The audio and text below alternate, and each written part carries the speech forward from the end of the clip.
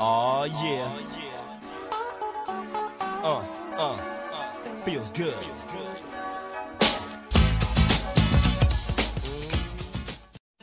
Who's gay?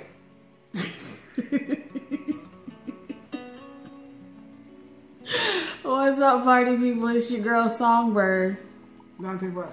and we are back for another episode of your favorite internet show.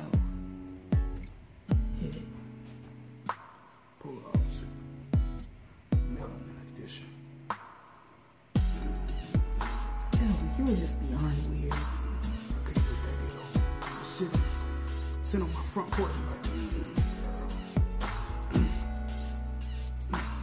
Ew. thirsty. Oh, God, don't, don't. I got something to drink in my trunk. I hope somebody takes your car when you get old. I'm gonna buy one of them old man vans. You know, the ones that, that, that got the little rails on the back. You know, I open it up. You can lay down in there. Ew. Future know Bill Cosby, everybody. I know what I'm talking about. Hey, Bill. Hey, y'all over here, y'all talking trash about Bill. Them girls are passed out. They don't know what happened. It couldn't have been him. He could have paid somebody. You don't know. There's a lot of possibilities. How many of y'all done passed out drunk or intoxicated on something else and don't know what happened? You don't know what happened to you. The last person you remember seeing is them, but hey, somebody else could have slid in. You know what? Not even. Think about All it. right, make sure you subscribe to our YouTube channel and make sure you hit that bell so that every time a new episode pops up, you will be notified. Exactly. That way you can see these chocolate faces. You know, sometimes y'all get a glimpse of this shiny forehead. Nah, I apologize. I try to keep this down. You need to do something about that. We're gonna take you to see a dermatologist. Um, Dermatologist. yes. See, see, she's starting to talk like me, y'all. Oh God. All right, so let's get into our new episode. So the topic for today is how to get over a relationship. Now, I'm sure this is something that everyone has experienced once in a while. And it's a very heartbreaking thing trying to get over someone that you were in a relationship with, that you cared about, and you felt deeply, deeply, sometimes in love for. But unfortunately things did not work out and you guys had to part ways and um i know that there is a saying that says the best way to get over someone is to get under someone else Yes, baby. Yes, get up. that is not true Yes, let's get up under that. because what i have noticed is that person that you rebound with usually has more issues than the person you just broke up with because your judgment is clouded you're not making good decisions and you're basically just trying to find some hard. no no it's not that you're just trying to get someone to be a band-aid basically to to cover the pain and you usually end up picking someone that's worse than what you had and so now you're stuck with this crazy ass um backup person that you got. What is it? Rebound. There we go. That's what I was looking for. You're stuck with this crazy ass rebound person. Most of the time you're still arguing with the ex and now it's just like, what do you do? You sitting here hurting because you still hurt from the breakup and then you still gotta deal with this crazy ass rebound person you dealing with. So you can't even deal with the the ending of a relationship because you jumped into something new and don't know how to deal with that because the person's crazy. Yeah, I mean, a lot of times what we do is when we so-called hurt or we get broken up with, you know, we'll find somebody that'll tell us basically everything that the last person didn't tell us. So we automatically gravitate to them. But just like just like how the previous person that was with, we didn't take the time to get to know this person before we jumped into it. So if you took the time to get to know this person, then you'll be able to see all of those flaws, which would not make your rebound experience such a tragic one. Now, a lot of us, what we do, and this is men and women, we think that, oh, the moment I start dating somebody else, all of my feelings for the other person gonna go away. Oh, It's no. not gonna go away. And nine times out of ten, the rebound person, in in our mind, will not look better than the other person that we're trying to get over. They, they just won't. And so if you're a rebound, if you're if you're dating somebody and they just broke up with somebody, I would say maybe within a week to four months, they're not completely over that person, and you are the rebound. But why would you try to jump back in another relationship like that quickly?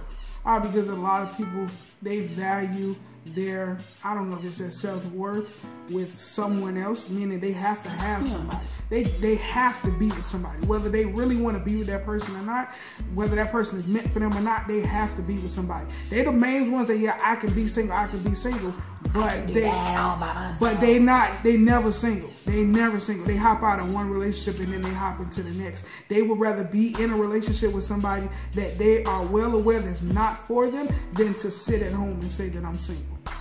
I've never understood that about hopping into relationships with people. I don't even like people that much. I think I think most I think in today's society, a lot of relationships is just for show. Well, yeah. Just just for show. Nobody is, is doing for anything. the gram. Yeah, nobody is doing anything that's for long term longevity at all. Nobody is doing. Well, you have okay, I ain't gonna say nobody because y'all like, well, me and my girl, we doing it. Me and my dude, do- we not talking about you, bruh, or female. I call everybody bruh. So when I say bruh, I'm not just talking about a dude. I'm talking about a female. You bruh too.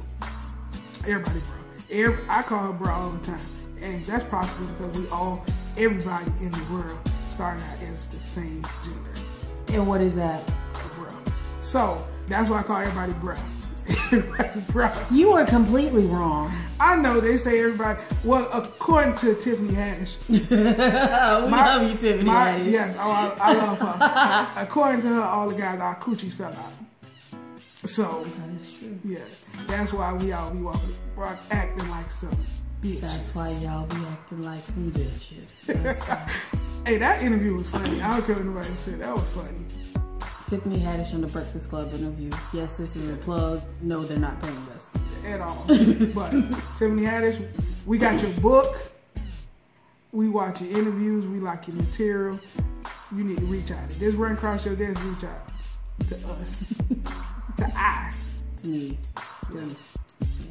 I'm the more professional one. I'm not. We, I'm gonna sit there. We gonna crack all day. We ain't gonna get no work done. Like here. Yeah, we never. do. it take us so long to do these videos because I be cracking. That is absolutely true.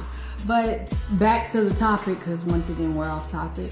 Um, I think the best way to get over a relationship is to just take that time. Let Have an orgy. That's what you do. That's what you. You this is what you this is how you get over a relationship. You really you really want to be done with that person, you have to go to the extreme. You have to go to the upper echelon extreme. Let me tell you what you do. You go find all of that person's like people that you know that they like. So let's just say you a you a guy, right? And you know that your girl or your ex, she she light skinned and she don't really like dark skinned females.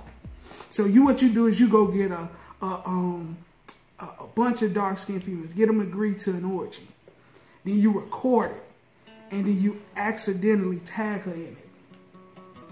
She gonna be upset because one, she don't like dark skinned girls, and two, why you sending this to me? Now, if you're a female, if you're a female, now let's say you dating, you know, you dating the dude that's on the plus size, and you know, you know, he probably insecure about him being plus size, and and light skin. Let's say he, he plus size light skin. Go get you some skinny dark skin dude and have an orgy, and then. Why does everything, why is the common denominator orgy? Why is that always your common denominator? Orgies are healthy. It relieves stress. You work on your social skills. It teaches you how to share. And you make friends in the process. And it's a great networking opportunity. All right, you can go with this completely outlandish advice, or we can go with the sensible advice. Just take They, the time. parents. Take the time let the relationship mourn and die. Get over those feelings that you have for that person. Um, pick up a hobby.